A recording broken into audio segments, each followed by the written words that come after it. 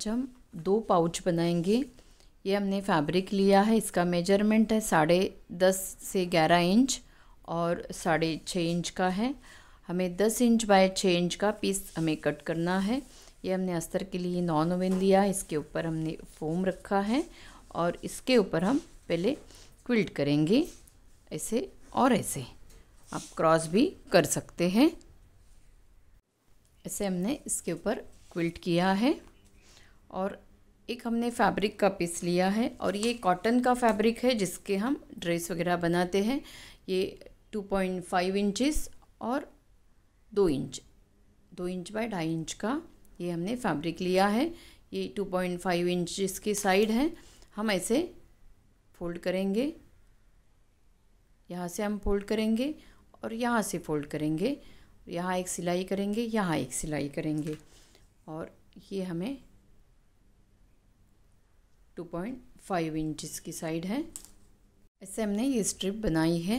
इसके बाद ये पीस हम लेंगे और इसी के साइज़ का हमने ये अस्तर लिया है और इसका मेज़रमेंट है दस इंचज़ दस इंच बाय छः इंच। दस बाय छः का एक क्विल्टेड पीस लिया है और सेम साइज़ का एक अस्तर का पीस लिया है और सिक्स इंचज़ के हमने ज़ीपर ली है। सिक्स इंचज़ की सीधी साइड हम यहाँ जोड़ेंगे और इसके पीछे हम अस्तर जोड़ेंगे। सिलाई करेंगे। यहाँ हमने सिलाई की। इसके बाद हम ये ज़िप सेपरेट करेंगे। ऐसे ही ऐसे ही हम ये ज़िप यहाँ रखेंगे। इसके ऊपर ये अस्तर का पीस और यहाँ हम सिलाई करेंगे। ऐसे हमने दोनों साइड में सिलाई की। इसके बाद हम सीधी साइड करेंगे। ऐसे यहाँ हम टॉप स्टिच करेंगे ऐसे यहाँ टॉप स्टिच करेंगे, यहाँ से यहाँ तक हम सिलाई करेंगे. ऐसे हमने टॉप स्टिच किया. इसके बाद हम रनर लेंगे और यहाँ से हम रनर डालेंगे और रनर डालने के बाद हमें इसे लॉक करना है. इसे हमने यहाँ से रनर डाला और ये लॉक किया. इसके बाद हम ऐसे यहाँ से सेंटर का मार्क करेंगे। और इसके बाद हमें यह उल्टी साइड करना है। और ये जो मार्क है, इसके ऊपर हम ये ज़िप रखेंगे और यहाँ हम सिलाई करेंगे। ये सिलाई होने के बाद हमने एक पाइपिंग के लिए स्ट्रिप ली है। इसको हम ऐसे जोड़ेंगे।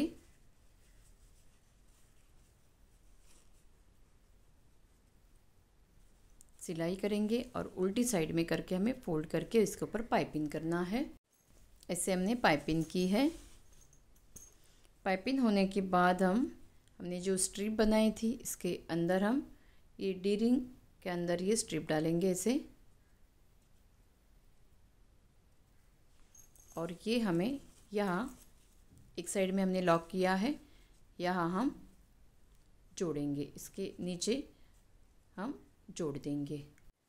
ऐसे हमने ये स्ट्रिप जॉइन की है। स्ट्रिप जोड़ने के बाद अगर एक्स्ट्रा बाहर ये स्ट्रिप है तो हम पहले कट करेंगे और इसके बाद हम ये ज़ीपर ऐसे रखेंगे।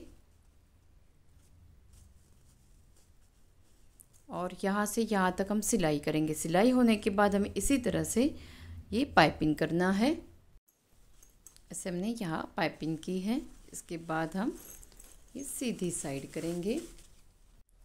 इससे हमारा ये पाउच तैयार हुआ है। इसके बाद हम और एक फैब्रिक लेंगे। ये हमने डबल फैब्रिक लिया है। आप चाहे तो कट भी कर सकते हैं। इसके अंदर हमने ये फोम डाला है। इसको हम सेंटर से फोल्ड करेंगे। इसका मेज़रमेंट ये ग्यारह इंच बाय साढ़े छः इंच तक है। ग्यारह इंच बाय साढ़े छः इंच तक है। इसके अंदर हम ये फोम डालेंगे ऐसे रखेंगे और इसके ऊपर हम पहले क्विल्ट करेंगे। आप क्रॉस में भी क्विल्ट कर सकते हैं। ऐसे हमने क्विल्ट किया। इसके बाद हम इसके ऊपर कटिंग करेंगे। इसे हम कटिंग करेंगे। ये हमने एक क्विल्टेड पीस बनाया है। इसका मेज़रमेंट है दस इंचज़ बाय साढ़े पाँच इंच दस इंच बाय साढ़े पाँच इंच का ये क्विल्टेड पीस हमने लिया है और इसके साथ हमने एक प्लास्टिक की शीट ली है। इसका मेज़रमेंट है साढ़े आठ इंच बाय साढ़े पाँच इंच। साढ़े आठ बाय साढ़े पाँच की एक प्लास्टिक शीट ली है और ये हमने वेलक्रो लिया है। ये हार्ड साइड हम यहाँ जोड़ेंगे ये प्लास्टिक के ऊपर। इतनी स्पेस हम छोड़ेंगे। थ्री फोर्थ इंचज़ तक हम छोड़ेंगे और यहाँ हम ये जोड़ देंगे। ऐसे। ऐसे हमने ये ऊपर की साइड में हार्ड साइड जॉइन की है, ये हम ऐसे रखेंगे। और यहाँ से यहाँ तक हम सिलाई करेंगे। ये तीन साइड में हम यहाँ से यहाँ तक सिलाई करेंगे। इसके बाद हम यहाँ से डेढ़ इंच का मार्क करेंगे। यहाँ से डेढ़ इंच का मार्क करेंगे और इसके ऊपर हमें यहाँ से ऐसे कटिंग करना है।